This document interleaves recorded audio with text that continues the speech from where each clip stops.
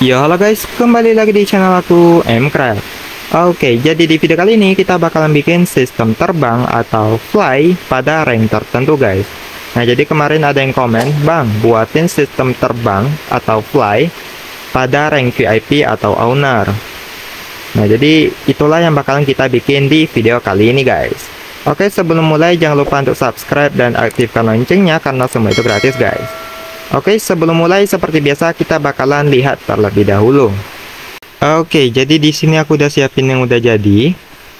Nah, jadi kalian bisa lihat kalau rank aku adalah member dan di sini aku kan di mode kreatif ya. Jadi di sini aku tetap bisa terbang. Nah, tapi kalau misalnya kita di game mode survival, game mode survival, nah kemudian kalian bisa lihat rankku adalah member. Nah, di sini aku nggak bisa terbang. Nah, kemudian di sini aku bakalan coba ubah rank aku menjadi uh, eh, VIP ya. Dan boom. Nah rank aku udah jadi VIP dan di sini aku bisa terbang guys. Walaupun di game mode survival. Nah kemudian begitu juga dengan uh, rank developer ya. Misalnya slash tag at s. Ini kita buang dulu untuk uh, rank VIP nya nah ini kan aku nggak bisa terbang. Nah kemudian di sini bakal aku jadiin developer dulu nih. At developer. Dan boom rank aku udah jadi developer dan aku bisa terbang guys. Oke bagaimana cara bikinnya? Kita langsung ke tutorialnya aja guys. Oke untuk cara bikinnya di sini pastikan kalian sudah bikin untuk sistem ranknya guys. Nah kalau kalian belum bikin kalian bikin dulu di videoku yang ini guys Untuk link videonya nanti aku taruh di deskripsi Oke kalau kalian sudah bikin di sini pertama-tama kalian masuk ke bagian settings Nah, kemudian kalian lihat ke bagian bawah. Nah, pastikan educationnya sudah aktif ya. Di sini kan belum nih. Nah, di sini kalau kita di dalam mapnya itu nggak bisa aktifin ya. Nah, jadi kita mesti save and quit dulu. Dan kita ke bagian setting dari wordnya. Dan baru kita aktifkan untuk uh, education editionnya guys.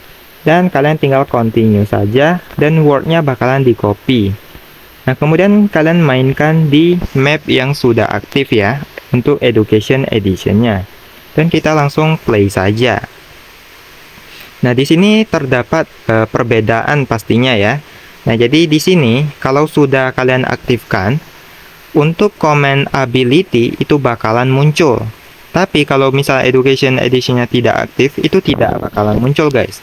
Di sini kalau kita uh, slash kemudian ability. Nah, di sini sudah muncul ya. Nah, kalau sudah seperti ini baru kita lanjut, guys. Nah, di sini pertama kalian tinggal taruh sebuah comment block seperti ini. Kemudian kalian buka dan kita langsung masukkan komen yang pertama. Kalian tinggal tulis aja slash ability. Kemudian kalian tinggal buka uh, add a, kemudian buka kurung kotak. Kemudian kalian tulis m sama dengan c. Kemudian tutup kurung kotak kayak gini. Kemudian kalian tulis my fly. Kemudian kalian tulis true. Nah jadi kayak gini. Kemudian kalian ubah jadi repeat dan always active nah di sini kalau muncul tulisan yang mengganggu seperti ini kalian masuk ke bagian chat. Uh, kalian masukkan komennya. Kalian tinggal tulis aja slash game royal kemudian send comment feedback kayak gini. Kemudian kalian tinggal tulis false. Dan tulisan yang mengganggu gak bakalan muncul lagi. Nah, selanjutnya komen yang kedua, kita tinggal masukkan saja. Dan kalian tinggal tulis slash ability, kemudian add a, kemudian kalian tulis buka kurung kotak seperti ini, kemudian kalian tulis tag sama dengan tanda seru. Nah, kemudian nama uh, nama rank kalian guys yang kalian atur ya. Nah, jadi di sini yang aku atur ada VIP dan developer. Kita kasih tanda seru, kemudian VIP, kemudian koma, kemudian teks sama dengan tanda seru, kemudian developer, dan tutup kurung. Developer, jangan sampai typo guys ya. Nah, kemudian kasih koma lagi, kemudian M sama dengan tanda seru, kemudian C tutup kurung kotak kayak gini guys. Jadi kayak gini, kemudian kalian tulis my fly lagi, dan kalian tulis false. Nah, jadi kayak gini. Di sini uh, untuk tipenya repeat dan always active. Nah, kemudian komen yang ketiga, nah tinggal masukkan saja di sini slash ability. kemudian add A, buka kurung kotak, tag sama dengan VIP. Nah, di sini nggak usah pakai tanda seru, guys. Kemudian tutup kurung, kemudian my fly lagi, dan kalian tulis true. Dan kalian ubah jadi repeat dan always active. Dan yang terakhir, kalian tinggal masukkan saja di sini. Um, oh iya, jangan lupa guys, untuk di sini tag VIP, di sini kasih koma dulu kemudian M sama dengan tanda seru C. Nah, jadi jangan sampai kelupaan, guys. Nah, jadi kayak gini. Nah, kemudian di sini kita lanjut slash, kemudian ability, add A, buka kurung kotak, tag sama dengan developer, kemudian koma, M sama dengan tanda seru C tutup kurung kotak, kemudian my fly, dan kalian tinggal tulis true. Dan ubah jadi repeat dan always active.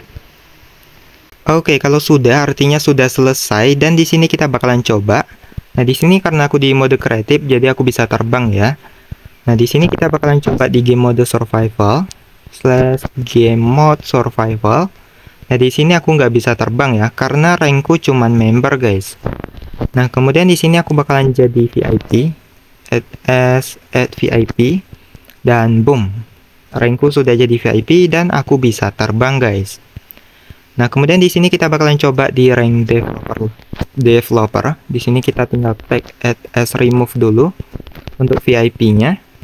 Nah, kemudian di sini kan e, balik ke member ya, tetap nggak bisa terbang. Dan di sini bakalan jadi developer, tag add as add developer. Nah, jadi kayak gini. Boom. Nah, jadi aku udah di rank developer dan aku bisa terbang juga, guys. Nah, jadi kayak gitu ya.